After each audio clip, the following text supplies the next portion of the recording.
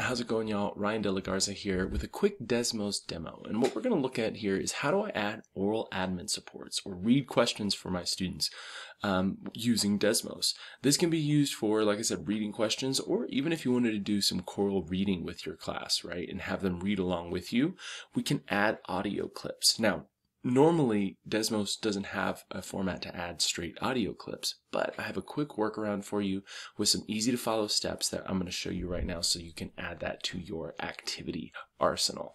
So we have this question, uh, and I want to talk about the graph to my students, and I also want to read this aloud, right? So let's see how we can make that happen. On the first screen, I've got some instructions. So if you want to look at this with me, you can follow the link below to kind of jump in. It's not going to be a build along like I traditionally do because uh, I'm going to be using some different technology pieces outside of Desmos, and you can use whatever you're comfortable with or whatever you have available. So first thing I need to do is create an audio clip. Uh, this can be used, I'm going to use Screencastify here in this video, but you can use anything you want. So I have my screen that I want to read. I'm going to pull up my Screencastify Chrome extension, uh, and I'm just going to press record. Once I do that, it's going to give me my countdown, and then I can start reading. The graph shows the total cost compared to the number of tickets purchased. Determine the rate of change for this linear relationship. I hit pause, I end my recording, and Screencastify is going to pop up this. What I like about this is there's different options for download, and I can export the audio only. So I'm going to select that option to download what I just recorded as an MP3 file, right? So I'm going to come down to my bottom right, hit download, and now I've got that MP3 file set there that I can use in a second. Let's go back to that first screen that first screen, my second step, I need to download this audio clip image. So here, I've set an image that you can use that's already set to a perfect height and width ratio, so it doesn't take up a lot of real estate on the screen. Desmos, when you add a media component, it focuses on what the width of that image is, and it adjusts the height accordingly. So if we make something really wide and not very tall, it's going to take up that whole column, but not give me the whole space uh, of kind of height and take up a ton of real estate. And I'll show you what I mean by that in a second.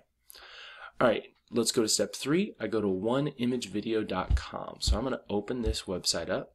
And now I can add my image file and my video file. So I'm going to hit browse and both of these files are going to be in my downloads since I just added them in here. So I'm going to come straight to my download folder. Here we go.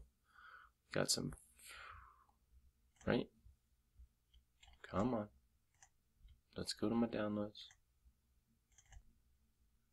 Oh, I'm here already. So I got my audio file. Yep, my audio PNG.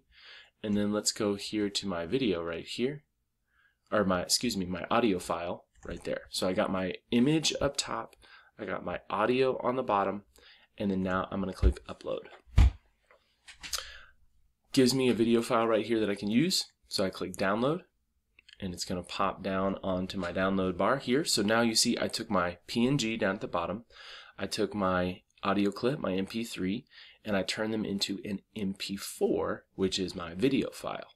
So now if I come back and edit my second screen, I'm going to add a media component and I'm just going to click and drag and drop right there. And now that's going to add that video, which is now really my audio clip to Desmos. So check out what this looks like. So if I preview, look, nice and small. I got that really wide image with a small, a short height, and that keeps it to that small kind of footprint on my screen. So it's not taking up a ton of space. So I can click, students can click this. the rate of change for this. Boom, and it reads it to them right there.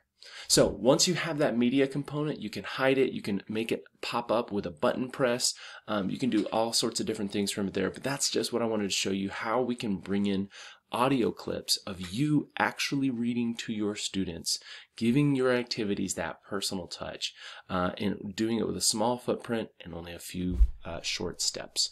So if you have any questions, leave them in the comments below. Let me know. Thank you guys so much for watching and happy Desmosing.